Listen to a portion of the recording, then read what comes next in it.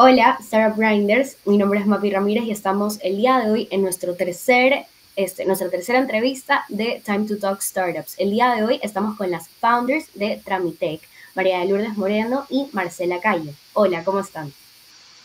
Hola. Hola Mapi, ¿qué tal?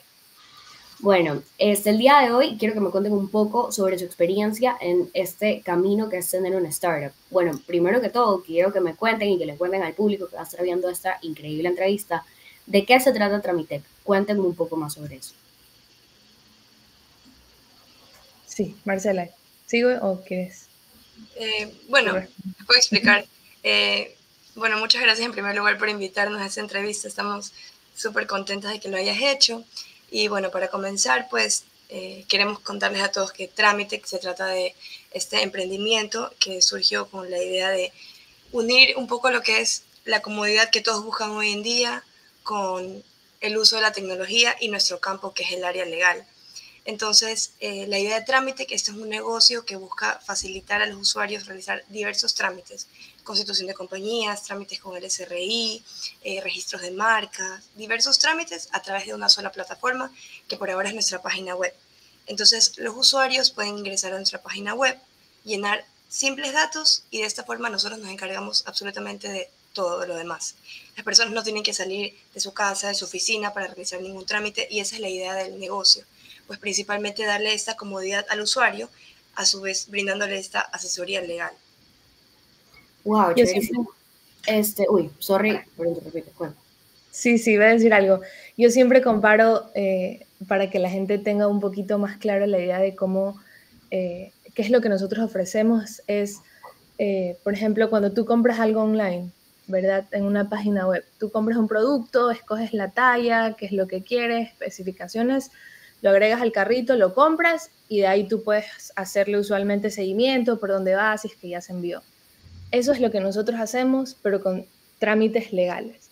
Tú quieres registrar tu marca, buscas el trámite en nuestra página web, agregas los datos de tu marca, si es que tienes logo, eh, tu logotipo, tus datos personales, lo agregas al carrito, pagas y también puedes hacerle seguimiento a tu trámite de tu cuenta. Vas a ver por ahí como cuál es el paso a paso, en qué etapa estamos nosotros. Wow, no, me parece, me parece increíble en realidad, porque sí es verdad, a veces justamente existe este problema de que a veces hacer trámites legales es un poco tedioso y a veces a la gente le da un poquito de pereza. Y literalmente tienen ustedes esta solución. Una pregunta, justamente en cuanto a lo que me comentas de que dentro de tu página web este, las personas ingresan sus datos, por ejemplo, yo busco registro de marca, pongo registro de marca, que es lo que necesito, tal, tal, tal, ustedes mismas son las que hacen este trámite, se podría decir, o lo tercerizan a otros abogados. No, nosotras hacemos todos los trámites. Somos la cara de trámite de frente y por atrás. El front y el back somos. Nos encargamos. Yo creo que una de las cosas más importantes en los servicios legales es contar con personas que te garanticen un buen servicio. Es lo que nosotros tratamos de hacer y comunicarlo en nuestras redes sociales, que nosotras dos somos abogadas especializadas cada uno en su área y somos las que estamos atrás de cada trámite, asegurándolos como de que somos personas que sabemos, que tenemos conocimiento y que tenemos experiencia, porque entendemos también que es un poco difícil confiar como, ah, una página web, a ver quién, quién va a tratar mis, mis datos y hacer mis trámites, etcétera. Entonces, eso es lo que nosotros sí tratamos de comunicar mucho, de que somos nosotras quienes estamos atrás de todos estos trámites. Sí, justamente te iba a preguntar eso. ¿Cómo haces para, bueno, cómo hacen las dos para generar esta confianza al cliente? Porque si bien es cierto lo que me estás comentando de que muchas personas a veces tienen esta, esta desconfianza, porque obviamente no, no, bueno, va la redundancia, no confían en que una página web te puede hacer, por ejemplo, los trámites que necesitas o simplemente a veces es información que las personas se reservan un poco más. ¿Cómo tratan, muy aparte de la comunicación de redes sociales, de transmitir esta confianza a sus clientes? Bueno, yo creo que principalmente este es un negocio, al igual que muchos otros, eh, que crece bastante y, le da la confianza a lo que es de boca en boca, ¿no? Eh, por ejemplo, uno usualmente no coge una persona para tratar sus datos, por ejemplo, digamos, eh, que no tiene ningún conocimiento, que alguna persona no se lo haya referido. Entonces yo creo que bastante se trata de eso. Nosotros ya hemos trabajado con algunas personas, sucede que esta persona me refiere con otra y así es como realmente va creciendo el negocio. Más allá de que es verdad, las redes sociales te permiten tener esta visibilidad y mostrarte al mundo, yo creo que esta confianza se inspira más del trabajo que uno hace y de los buenos resultados que tenemos. Entonces, con base a eso es que yo creo que tenemos este éxito, por así decir, de que la gente nos logra recomendar y te dicen, ah, yo trabajé con ellas, todo perfecto, me fue excelente, tuve los resultados a tiempo. Y yo creo que de esta forma vas inspirando confianza. Eh, sí es un poco complicado el tema, como bien decía, solamente hacerlo a través de redes, porque yo podría ver que cualquier persona lo hace y no sabríamos cuál sería el resultado. Pero yo creo que ese vendría a ser ese, ese plus que tenemos nosotros, pues nosotros ya tenemos varios, varios años ya trabajando, gente, ya clientes de nosotros previamente, antes de haber empezado el negocio. Entonces yo creo que esto es lo que ha generado la confianza en nuestros diversos clientes. No, sí, la verdad es que justamente es verdad, del boca en boca de cierta manera es tu mejor aliado tipo, en este tipo de, de situaciones, ya que mm, hay muchas cosas que, o sea, la verdad, esto vale más que muchas cosas. O sea, trabajar con alguien y que te refieran ellos, yo trabajé con ellas, es increíble. Justamente viniendo ya del mundo de las startups, te puedo comentar que en verdad es algo que te sirve bastante. Y bueno, quiero que me cuenten un poquito más. ¿Qué las motivó a emprender este camino juntas? Las dos como partners en, este, en esta travesía que es literalmente tener una startup. Yo creo que, bueno, Marcela y yo nos conocimos en la universidad. Eh, tuvimos un par de clases juntas. No es que somos de la misma promoción, pero eh, ahí nos conocimos, tuvimos clases juntas, unos amigos en común también y y surgió la idea de una conversación, ¿sabes? Como parte de todo de la necesidad de, yo creo, a quién le gusta hacer trámites. Y de conversaciones en conversaciones, aquí estamos. Así es como en resumen. Como dice, como dice Mimi, que le decimos a María Lourdes, eh, sí, es justamente lo que acabo de referir hace un momento, ¿no? Por ejemplo, ella y yo no fuimos compañeras en toda la universidad, pero yo desde luego sabía quién era ella, cómo era ella, su nivel de responsabilidad, de compromiso. Entonces, yo creo que eso es lo que distingue también a una persona para poder decir, sí, efectivamente yo me puedo asociar con ella, yo quiero trabajar con ella, o tú dices, no, bueno, yo con esa persona, de, de verla nada más, de saber cómo trabaja. Entonces, fue precisamente lo que pasó con Mimi, ¿no? De saber su nivel de responsabilidad, que es, es una persona súper inteligente. Entonces, yo creo que de esa forma también es que conectamos, porque eh, es difícil también elegir las personas con las que vas a trabajar, porque no solamente es lo que vas a hacer en el trabajo, no solamente somos ella y yo haciendo trámites, sino todo lo que conllevó el desarrollo de la página web, la toma de decisiones. Entonces, precisamente eh, elegir a esta persona fue fundamental y yo creo que pues somos un muy buen equipo. No, sí, la verdad es que he visto un poco sobre lo que hacen, porque obviamente haciendo un background check de todo, y sí veo que tienen como que esta, o sea, por lo que puedo ver en redes sociales, que igual ahorita también lo estoy viendo, y se ve que tienen esta química como para trabajar en equipo, y eso es súper importante.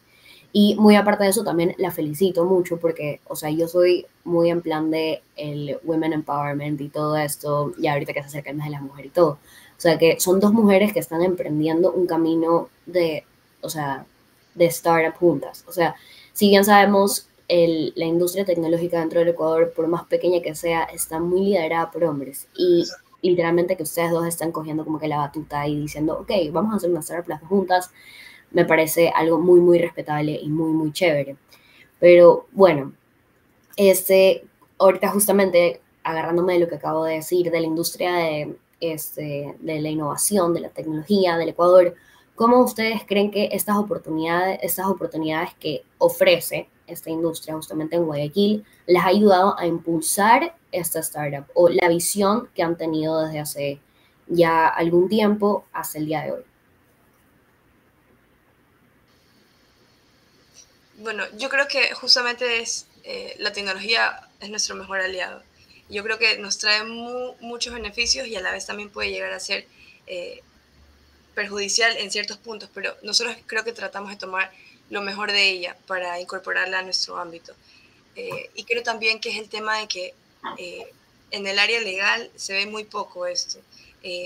estamos comenzando a ver, es verdad, abogados independientes que buscan impulsar su marca personal, pero hay muy poco de esto y siempre se transmite de una forma distinta, siempre eh, de una manera muy seria, formal, eh, como para un público muy particular y nuestra idea es no tener esa visión o esa, esa idea de ser tan cerrados, sino más bien estar abiertos al público y la persona que lo necesite. Por ejemplo, nos dirigimos mucho a los emprendedores, por un lado, porque pues buscamos que ellos formalicen sus negocios, ya sea registrando su marca, constituyendo su compañía, poniendo todo en orden. Entonces yo creo que el uso de la tecnología para nosotros fue fundamental porque vimos una oportunidad, dijimos, bueno, esto es algo que no lo están haciendo aún y nosotros lo podemos hacer. Nosotros podemos hacer que hacer estos trámites sea mucho más sencillo. Nosotros podemos hacer que eh, deje de ser un problema para las personas. Es también enfocarse en cuál es el problema, ¿no? El problema es la falta de tiempo, eh, como lo mencionaste, la pereza, eh, que hay, las personas tienen otras prioridades. Entonces ahí es donde entramos nosotros aliados con la tecnología. Vamos a hacer esta página web que le va a permitir, pues, tanto a ellos como a nosotros manejar de mejor manera la información y que todo sea mucho más rápido.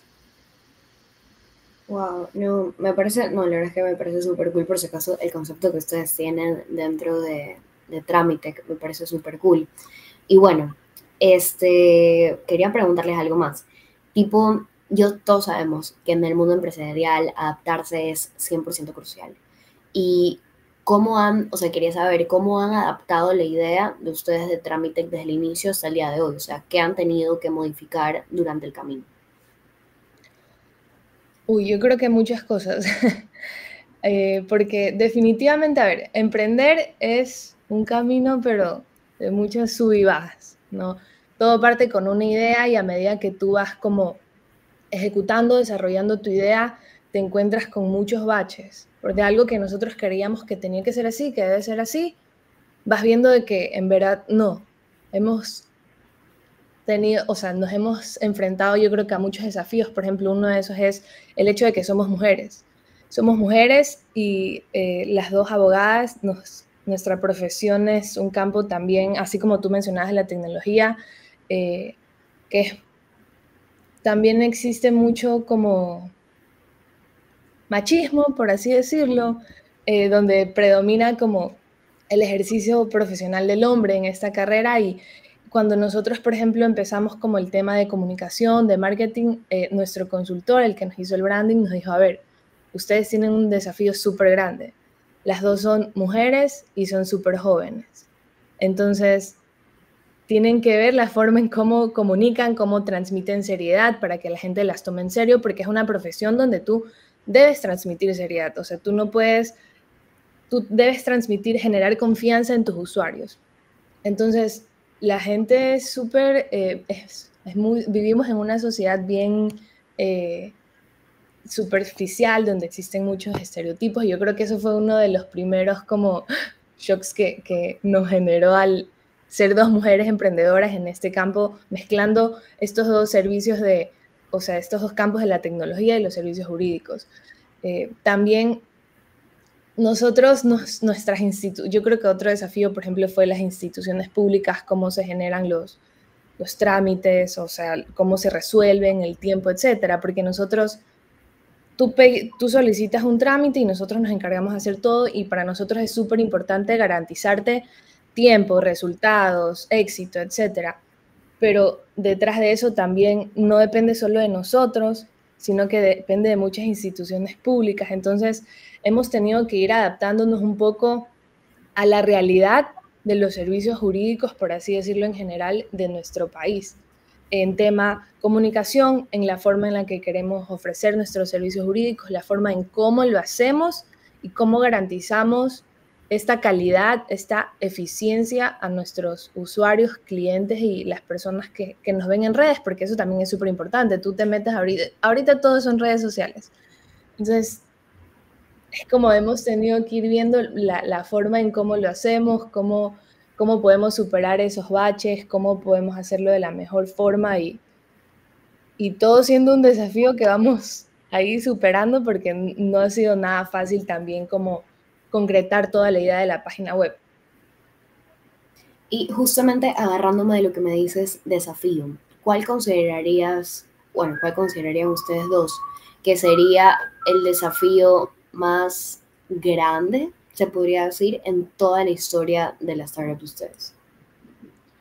Yo diría que la gente confíe en la página web, porque los servicios jurídicos existe este como estigma de que tiene que ser súper formal, de que eh, las reuniones presenciales y que los abogados, que toda la seriedad de, que existe sobre, sobre este servicio jurídico, que no digo que no debe ser así, pero vivimos en una generación donde todo está cambiando, o sea, la tecnología nos está volando la cabeza y, y es súper importante, y es lo que hemos tratado de hacer nosotros, adaptarnos, adaptar nuestra profesión a todo lo que como que está evolucionando actualmente en la sociedad. Y, pero aún así, aún así hay gente que cree en la tecnología, que apuesta por la tecnología. Creo que un desafío muy grande es esto, que la gente logre conectar la página web con el servicio jurídico, que consideren que es capaz esta tecnología, esta nueva herramienta que les estamos ofreciendo, que sea una herramienta igual confiable como un, un estudio jurídico reconocido, me invento. Nosotros realmente desde que hicimos pública la página web no tenemos mucho tiempo, pero diría definitivamente que eso es uno de los desafíos, porque mucha gente como que ya ha visto nuestro proyecto, ve nuestras caras en redes y todo y nos ha escrito. Nos ha escrito por trámites, por asesorías, por muchas cosas, pero igual me escriben a mí y no lo hacen por la página web. En ciertos casos, ¿no? Entonces creo que ese es el desafío, como tratar de, de que la gente igual confíe en la página web, porque eh, los comentarios que hemos recibido han sido muy positivos, gracias a Dios, eh, de que, ay, qué increíble tu página y todo, y creo que sí, definitivamente para mí ese es un desafío. No sé, Marce, ¿tú qué opinas?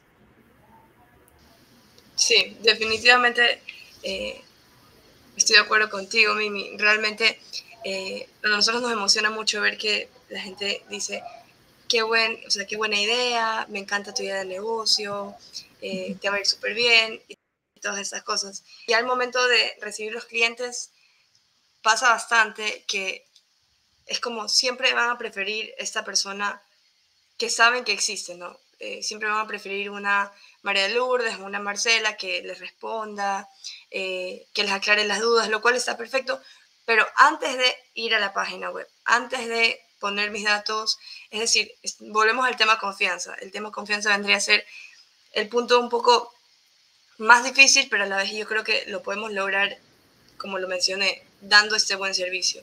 Yo creo que esto podría ser seguramente el inicio, porque realmente sí tenemos muy poco tiempo, pero yo creo que ese es el inicio y poco a poco la gente pues ya que va adquiriendo ese servicio y como lo mencionamos, lo va recomendando, yo creo que es cuestión de tiempo quizá para que la gente empiece a confiar un poquito más en la tecnología y como dice Mimi, pues en su, en su conexión que puede llegar a tener con un servicio legal. Porque de hecho muchas personas hoy en día no tienen tiempo ni para ir a una reunión presencial, no tienen tiempo para hacer el trámite. Entonces, eso es precisamente lo que nosotros les estamos ofreciendo. No sé, y a veces, este, justamente, eh, bueno, agarrando un poquito de lo que dices, a veces ni siquiera es el tiempo, es el tráfico también de Guayaquil, que la gente a veces no puede ir a reuniones porque el tráfico es todo, o sea, hay muchas personas que prefieren a veces trabajar desde su casa remotamente que salir a la oficina o ir a reuniones presenciales, porque justamente eso también puede ser este, un obstáculo que este, también, es verdad, también yéndonos a la parte del tiempo, los hacen perder tiempo. Y no, sí, la verdad es que yo considero que, que tienen un factor muy valioso, que justamente es algo que deberían de explotarlo al 100%, que es literalmente la comodidad de la otra persona que necesita hacer un trámite. Ya, y justamente en cuanto a la competencia, ¿qué es lo que ustedes considerarían que es este factor diferenciador de ustedes? O sea, muy aparte de el, el factor comodidad, el factor, este, te ahorramos tiempo, te ahorramos, este, que tengas que ir a reunirte, te ahorramos todo eso. O sea, eh, muy bien sabemos de que dentro del mundo de innovación también, obviamente, también hay ideas que van surgiendo y todo, pero ¿qué es lo que ustedes considerarían que les, que es como que les hace destacar un poco más en frente a la competencia? Bueno, yo creo que lo que ya mencionamos anteriormente, como lo dices, muy aparte de eso, pero sí, haciendo un énfasis en eso, por un lado, te estamos brindando la mayor comodidad posible, porque incluso si tienes que firmar un documento, no tienes que salir de tu casa en la oficina, pues nosotros vamos a recoger la firma, e incluso si debes hacer un trámite de notaría, se te va a recoger la firma si lo deseas. Entonces, en ese punto creo que, por un lado, sí es la, la comodidad y la forma en que se brinda el servicio, en que nos da un plus, un valor agregado, y adicionalmente es el tema de los precios, porque a pesar de que yo puedo decir, nosotros somos personas súper responsables, nosotros sabemos de la, de la materia, puedes confiar en nosotros. Puede haber asimismo otra abogada u otro abogado que también esté especializado, digamos, por ejemplo, en propiedad intelectual, una persona que tenga eh, mucha experiencia en registro de marcas. ¿Por qué deberían elegirnos a nosotros? Pues por un lado, más allá de que efectivamente tenemos el conocimiento para hacerlo, eh, y el tema de la comodidad, que es muy importante, también es el tema del precio porque la gente también mira mucho eso. Entonces, nosotros realmente hemos trabajado bastante duro para poder tener precios muy competitivos. Realmente esos precios no podrían realmente compararse con los de la competencia porque la idea de nosotros es alcanzar eh, una mayor cantidad de personas a través justamente de la página web. Entonces, si me refiero, por ejemplo, a un abogado independiente que tiene una reunión para poder hacer cualquier trámite, eh, esa persona obviamente pues va a tener que considerar un precio mayor en el sentido pues que quizá esta persona dice, no, yo me reúno presencial, eh, eh, tienes que venir a la oficina, tienes que venir a firmar los documentos para constituir, tu compañía, para hacer X trámite. La idea de nosotros es manejar, además de la comodidad, un excelente, un excelente precio. Y bueno, precisamente yo creo que las personas que nos ha pasado. Las personas quizás al principio dicen, eh, ok, tienes ese precio, listo. Lo que hacen muchas personas en, muchos campos. Yo cotizo esto, esto, esto, y al final con qué me quedo. Se van a dar cuenta al final, pues que de nuestra página web pueden ver que nuestros precios son prácticamente insuperables. Y es la idea del negocio, ¿por qué? Porque la idea es pues precisamente poder llegar a una mayor cantidad de personas eh, brindando ese servicio especializado, pero definitivamente de una manera mucho más cómoda. Entonces yo creo que este plus, junto con este precio, que nosotros estaremos dando un precio más bajo y dando más cosas, teniendo un mayor, valor agregado, que es el tema de la comodidad. Entonces, eso creo que es precisamente lo que le permite a nuestros clientes elegirnos y darse cuenta pues que sí les va a ir bien con nosotros y poder recomendarnos así. Este, no, sí, la verdad es que este, justamente de acuerdo a lo que me vas comentando, claro, eso literalmente es lo que les hace, muy aparte del factor que ya, ya hemos hablado este, eh, bastante, que justamente es la comodidad, obviamente, el factor precio, eso es lo que más llama la atención de un usuario 100%. Y bueno, quería preguntarles este, otra cosa. De, independientemente, quiero que las dos me contesten esta pregunta. ¿Qué las define a ustedes como emprendedoras? Como emprendedoras. Wow, nunca me han hecho nunca me he puesto a pensar en eso. como, como persona, como abogada, tal vez es diferente, no como profesional, pero como emprendedora. Eh, Marce, no sé si, si quieres contestar primero, ¿se te ocurre algo? Bueno, yo creo que Tal vez hablando por, por las dos, pero pues ya Mimi si tiene algo que agregar lo puede hacer después. Yo creo que nosotros somos personas muy comprometidas, muy comprometidas y también somos personas eh, que, ¿cuál sería la palabra adecuada? Quisiera decir que eh, tenemos mucha, eh, además de compromiso, mucha no, no, la palabra no es esperanza, pero nosotros confiamos, confiamos mucho en nosotras mismas. Ya, entonces yo creería que esas cosas, seguridad, exacto. Yo creo que tenemos mucha seguridad y eso es lo que, es lo que nos ha permitido seguir. O sea, nosotros, como lo mencionó Mimi, este camino del emprendimiento eh, hay altos y bajos. Eh, desarrollar la página web no fue nada fácil. Eh, sí nos tomó también un tiempito, no fue nada fácil porque eh, tampoco era algo que, con lo que nosotros ya estábamos familiarizados, es decir, hacer el diseño de la página, todo lo que está detrás de esta, todo lo que implica. Entonces, realmente yo creo que fue algo que nos costó, nos costó bastante, pero nosotros teníamos mucho, mucho compromiso y seguridad nosotros mismos. Nosotros sabíamos que nosotros podíamos sacar adelante este proyecto y le teníamos mucha fe al proyecto, porque sabemos que es una idea muy buena, sabemos que es una idea innovadora y que realmente eh, si nosotros trabajamos duro por eso lo íbamos a lograr. Y realmente creo que eso es lo que nos define principalmente, porque han habido muchos momentos en que decimos, no puede ser, eh, eh, trabajando en la página, no puede ser, hubo este cambio, tengo que cambiar esto. Nuevas leyes.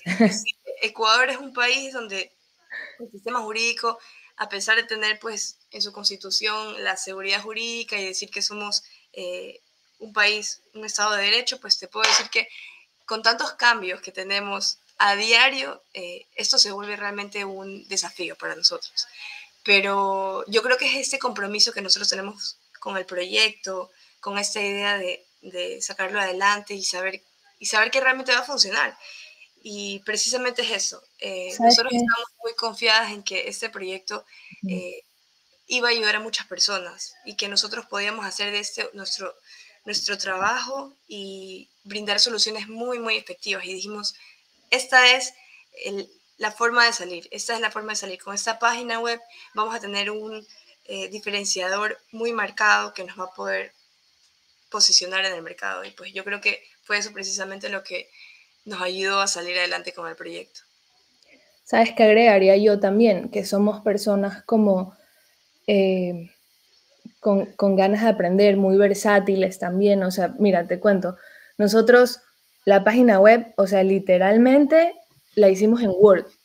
O sea, yo tengo un poco de conocimientos en Adobe Illustrator y somos nosotros los que hacemos todo el contenido en nuestras redes sociales. O sea, tenemos a alguien que nos ayuda eh, tomándonos las fotos, grabando los videos, pero todos los diseños, como la línea gráfica, esa la, hemos hecho nosotros y aprendiendo poco a poco de que yo sé cosas básicas y voy viendo en YouTube y, y si es que tengo que hacerlo, lo hago porque también cuando eres emprendedora los presupuestos de inversión pueden ser grandes y es un poco difícil eh, como ir, ir luchando eso y luchando en eso para estar al mismo nivel que, otras, por ejemplo, empresas o abogados que hagan esto y tengan una cuenta y community managers y cosas así. Entonces, yo creo que nos ha tocado aprender muchísimo y nos hemos como preparado también muchísimo para poder desarrollar bien una idea de negocio, o sea, también plantearla, hacer nuestra línea gráfica, hacer nuestra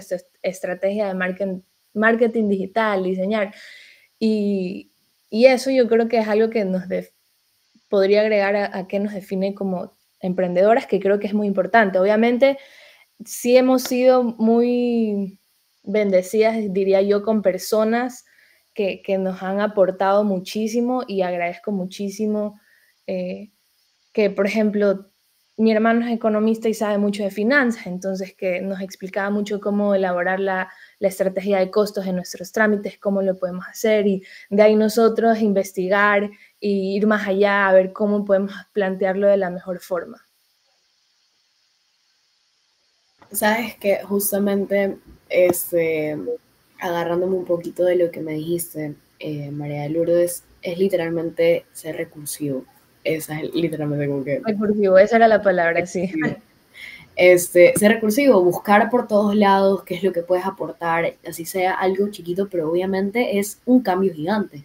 Y la verdad es que, es más, que ustedes mismas estén haciendo la línea gráfica, que hagan los posteos, que hagan todo eso, eso yo como estudiante de marketing digital, que también he manejado redes y que también he hecho todo, todo esto, este, y he trabajado en la parte de marketing de una startup, yo entiendo lo trabajoso que es estar al tanto de tus clientes y estar al tanto de redes sociales como tal, porque es un trabajo bastante fuerte. Pero Imagínate nosotros abogadas. O sea, cero marketing, cero negocios, cero números, cero todo. O sea, no que no sabemos, pero son cosas que tú no tienes en la mente. Entonces tú, ay, sí ves qué lindo, pero de verdad lo que te conlleva, como tú dices, manejar las redes sociales es algo que yo he aprendido y por suerte me considero una persona creativa, que he podido, que, he, que he podido como que aportar mucho, mucho en ese lado, pero qué desafío, de verdad, qué difícil. Mi respeto a, las personas que hacen contenido y manejan redes sociales y todo.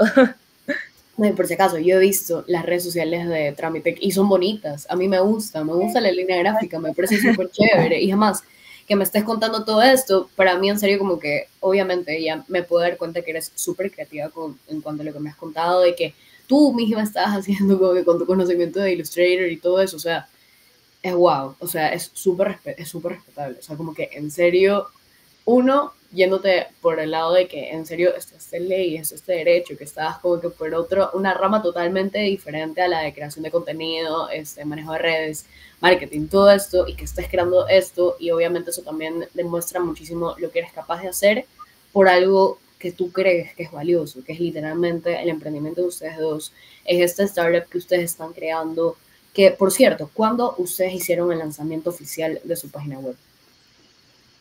Fue en noviembre, me parece, ¿verdad? Me parece que fue, el, 13 de noviembre, un lunes. o sea, literalmente empezaron hace casi nada, o sea, están recientes. Y no, o sea, la verdad es que este esfuerzo y este, esta dedicación, todo esto en serio dice muchísimo de ustedes y no solo este, para, o sea, personas como yo que ya conozco un poco sobre el background de lo que ustedes hacen y todo esto, sino que hasta para sus clientes. Y es algo que es este, muy valioso que esta gente también sepa de que muy aparte de que ustedes están haciendo todo este, este negocio, emprendimiento, para poder darles una solución, también ustedes hacen muchísimo, muchísimo de entradas, que justamente es para brindarles este excelente servicio a ellos, que son cosas que no necesariamente las involucra a ustedes de parte de su rama, o sea, como que no les involucra, no involucra el derecho, sino que van por otro lado y están buscando cosas nuevas para poder este, aportar y, y todo, y obviamente también hasta el, frecuente cambio, literalmente hasta lo que me dijeron de cómo van cambiando las leyes y tienen lo que cambiar en la página web, o sea, todas esas son cosas que yo entiendo, por si acaso, lo tedioso que es los cambios en una página web. Y a veces dices, ya, o sea, Dios mío, ya no aguanto, y un cambio tras otro, y a veces son cosas que en serio te sacan un poquito de tus casillas, porque en serio es, es un poco, es bastante complicado, es bastante tedioso, pero al final del día esto es lo que les va a traer excelentes resultados, porque yo tengo este, una clara idea de qué es lo que ustedes ofrecen y yo considero que es una idea muy, muy buena, muy valiosa, que obviamente va a explotar, ya, y les va a ir increíble. Y bueno, ya para no quitarles mucho tiempo, les quiero hacer ya la última preguntita. ¿Qué les recomendarían ustedes a ya sea un abogado, un colega que también quisiera empezar a este camino de emprendimiento o no necesariamente tenga que ser un abogado, pero cualquier persona que esté buscando emprender, que quiera literalmente seguir los pasos de ustedes dos, crear una startup con una de sus amigas de la universidad por X, Z razón. Y, nada, o sea, ¿qué les, ¿qué les dirían? ¿Qué les recomendarían? ¿Qué, ¿Qué consejos le darían? Yo diría que hagan un plan. Yo creo que toda idea es válida, toda idea se puede mejorar. Eh, y puede ir cambiando como lo conversábamos en un inicio. Pero hacer un plan en el sentido de que, a ver, yo no sé de marketing, yo no sé de esto, yo no sé de redes sociales, pero tengo mi idea. ¿Cómo sé o qué me garantiza a mí que va a ser una buena idea o, no, o que va a tener éxito? No, yo creo que eso es uno de los mayores miedos de los emprendedores. ¿Y qué pasa si no pega? Como que y todo lo que todo lo que perdí en inversión, etcétera. Entonces, ¿qué recomiendo? Un estudio de mercado así empezamos nosotros, de hecho, como dijimos, a ver, esta idea tan innovadora, tan disruptiva, como que, ¿qué hacemos? Y yo, a ver, estudia mercado, vamos viendo que si es que es una idea viable o no. Siguiente, ok, ¿qué, qué vamos a hacer? mira, de hecho, nosotros, te cuento algo, nosotros inicialmente pensábamos hacer una aplicación en el celular. Y del estudio de mercado vimos que la mejor opción era hacerlo en una página web. Entonces, mira, mira el cambio que, como drástico que, hicimos inicialmente para lo que es ahora Trámite y cómo inició Trámite. Entonces, de ahí, eh, sí, contenido, pero no tengo mucho presupuesto, aprende. Aprende, instruyete. Ahorita, hoy en día yo creo que hay muchos webinars, muchas eh, empresas, eh, personas que hacen contenido que ofrecen estas herramientas gratuitas que uno puede aprovechar eh, y que uno puede ir poco a poco aprendiendo, ¿no? Y, empiezas así, poco a poco vas creciendo, vas teniendo capital, vas, vas invirtiendo en, en otras cosas, eh, pero un plan definitivamente, plan y organización, yo creo que es algo que nos ha ayudado muchísimo a, a Trámite a, a, poder llegar a su lanzamiento, como ir teniendo, ordenando las ideas para poder finalmente ejecutar tu idea, porque todo puede cambiar, todo puede cambiar y es muy difícil. Cuando hay dos personas de por medio también surgen muchas ideas, como que no, yo prefiero esto, yo prefiero esto, dejar todo, eh, la estructura clara desde un inicio, porque también hemos escuchado casos en donde, por ejemplo, empiezan como socios y después ya no quieren ser socios porque no tenían claros cuáles eran las funciones de cada uno. Entonces, también creo que es algo súper importante cuando tú empiezas un negocio donde vaya, eh, que implica inversión y son dos personas, porque no eres solo tú. Y eso sí, eh, es muy importante manejarlo bien. Es de cierta forma delicado. Sí, y justamente, bueno, eh, para agregar un poco lo que estaba comentando Mimi y lo que yo tenía en mente es, yo creo que una recomendación muy valiosa es elige bien a las personas con las que vas a trabajar, elige bien el equipo. Eh, cada persona tiene diferentes habilidades, eh, cada persona es distinta, ¿verdad? Pero, por ejemplo, entre Mimi y yo, las dos somos abogadas, estamos en ramas diferentes, sí, ella tiene habilidades completamente distintas a las mías. Eh, yo puedo decir, bueno, yo no tengo tantas habilidades para manejar, eh, quizá yo no, eh, no tengo tantas habilidades para hacer la, parte creativa, ok, me puedo dedicar a otra cosa.